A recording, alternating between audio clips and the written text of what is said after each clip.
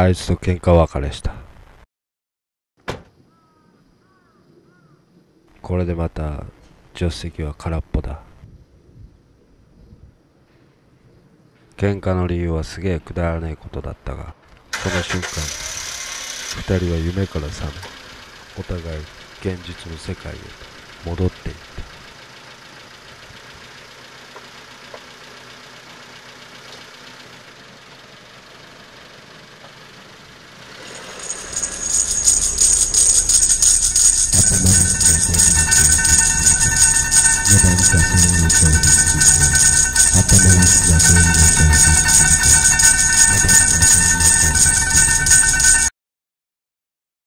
なぜだか山にたどり着いた。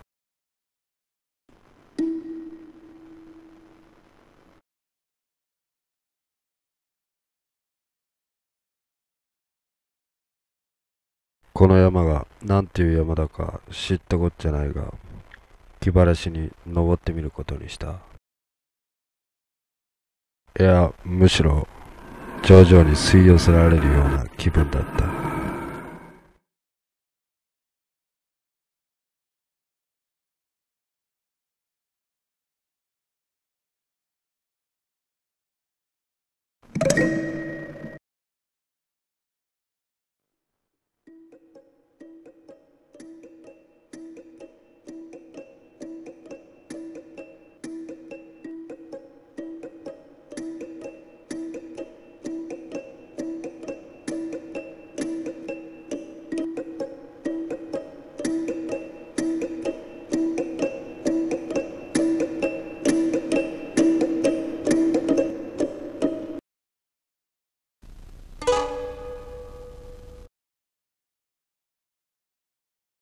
山を登る。ただひたすらに。でも考えることは他のことばかり。あいつはいつだってそうだった。いちいち細かいことにケチをつける。そもそも俺が頼んだチキンナゲットだ。俺にはソースを選ぶ権利があるはずだ。だがソース選びをきっかけに二人のたまりにたまった不満が大爆発を起こした。もう後戻りはできない。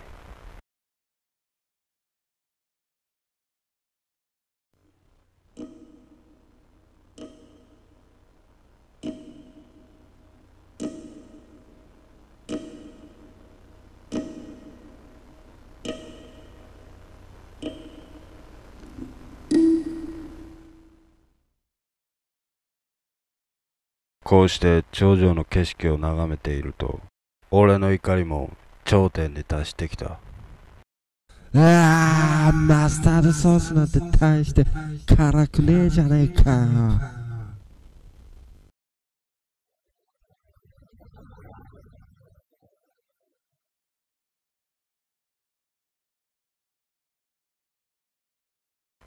思えばこれは彼女からもらった大切な帽子だだがもうこれも大切にする義務はない。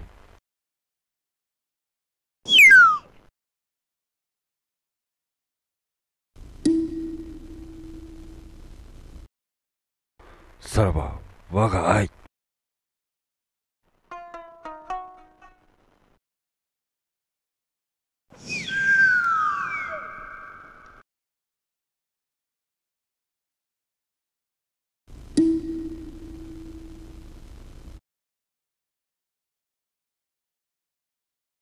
サのパペッチ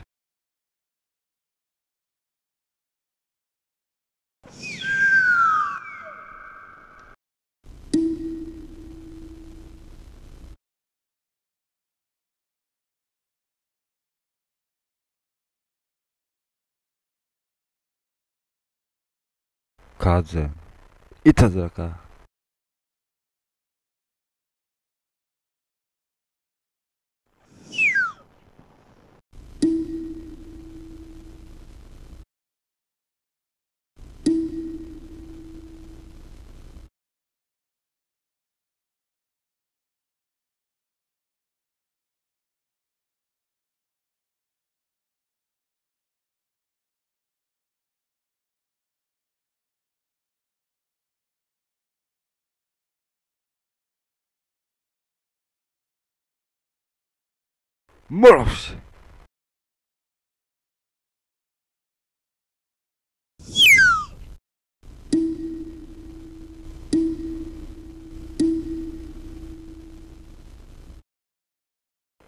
いたずらかもろしい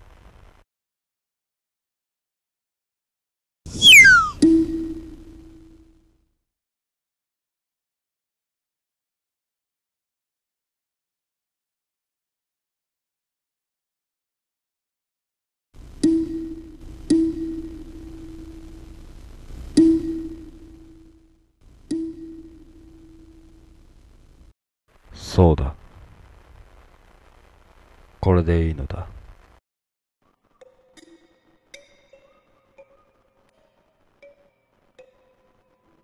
これは終わりではなく次への始まり。この帽子にも関係にも未練はない。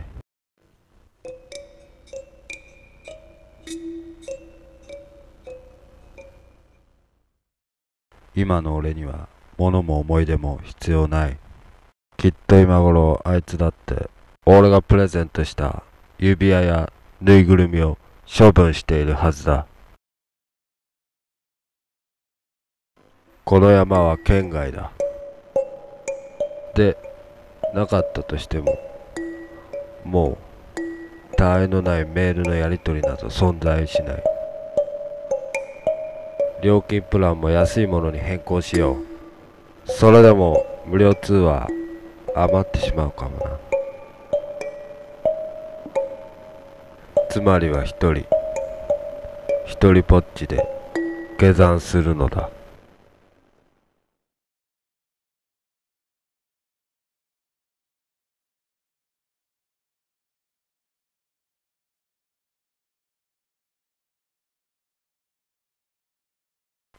下る途中ふと景色を見た。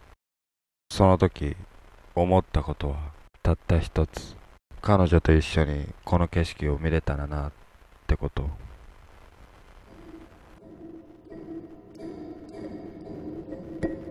今帽子を手放すのはまずい。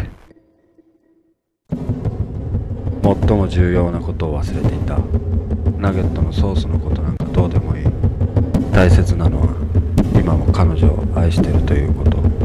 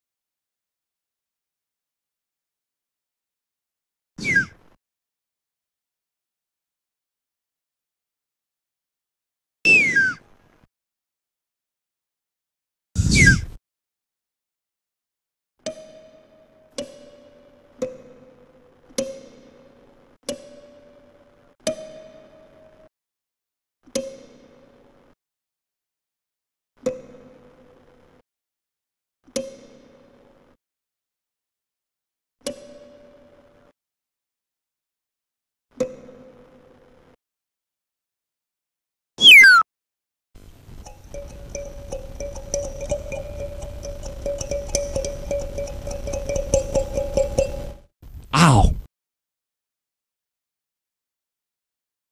One, two, one, two, three, four.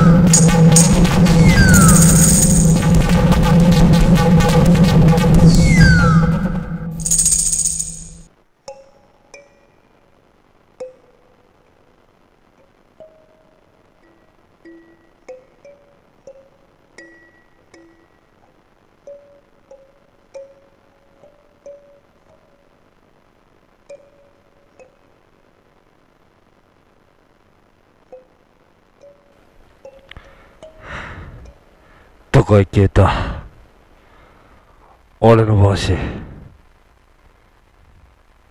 このまま帰るわけにはいかない。かといってこの広い山で帽子が見つかる可能性など。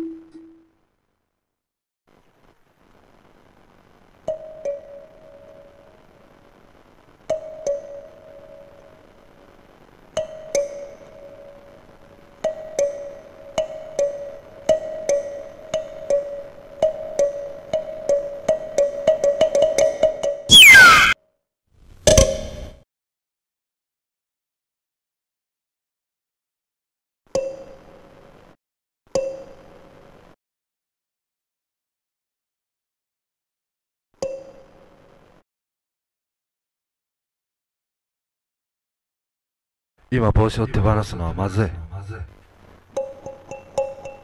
代わりの帽子なんていくらでも売ってるかもしれない。でもこの帽子はあの子がくれた。世界でたった一つの大切な帽子。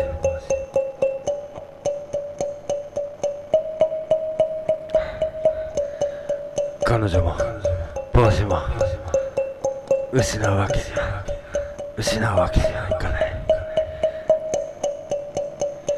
確かに。よりを戻せる保証なんてどこにもない。でも俺は俺は。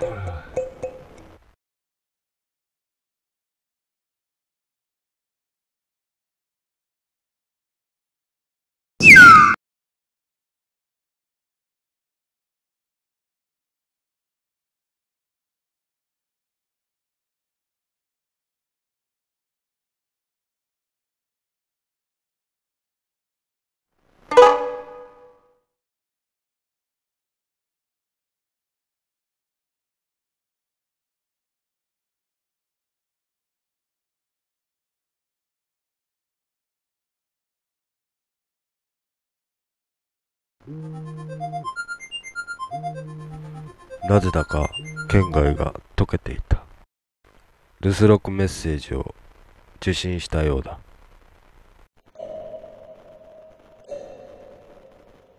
もしもし、もしもし。ねえ。近くにいるんでしょ？どうして出てくれないの？ねえ。もうかけてくれないの？かけ直してくれないの？待ってるからね。待ってるからね。電話待ってるからね。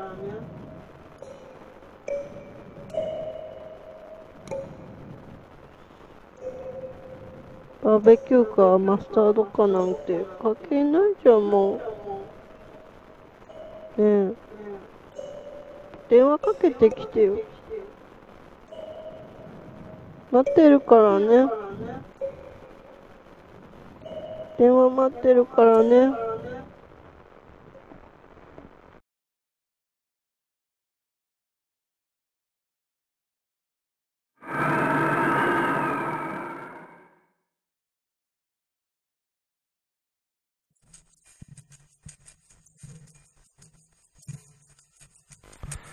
と誰かが祝福してくれているこの関係を決して無駄にはしないと心に誓い俺は再び下山するのであった。